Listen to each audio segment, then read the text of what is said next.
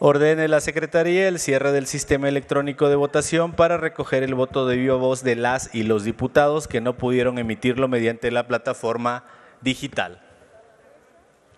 Ciérrese el sistema electrónico de votación. Se pide a las y los diputados que no pudieron registrar su voto hacerlo de viva voz en cuanto escuchen su nombre.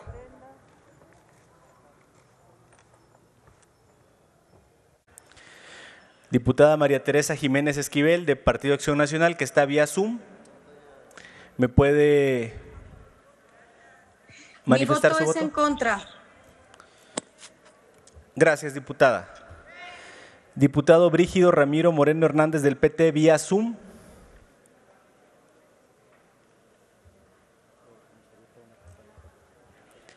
Diputado Brígido, Mi voto es. Vía Brígido Zoom. Moreno, mi voto es a favor. Diputada Saraí Núñez Cerón del Partido Acción Nacional.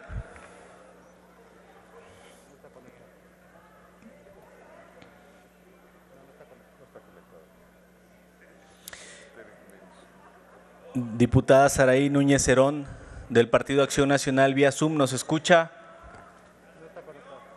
Me informa la Secretaría que no está conectada. ¿Alguna diputada o diputado que falte de emitir su voto? Nuevamente, ¿alguna diputada o diputado que falte de emitir su voto?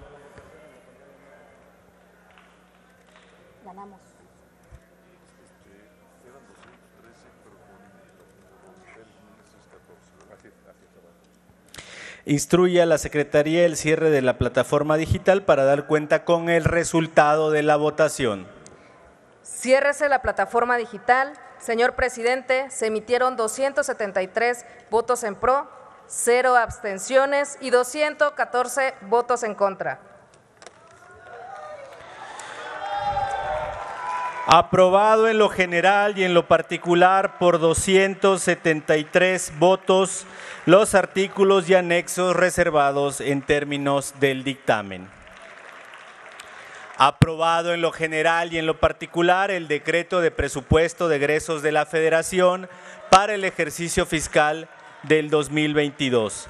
Pasa al Ejecutivo Federal para sus efectos constitucionales.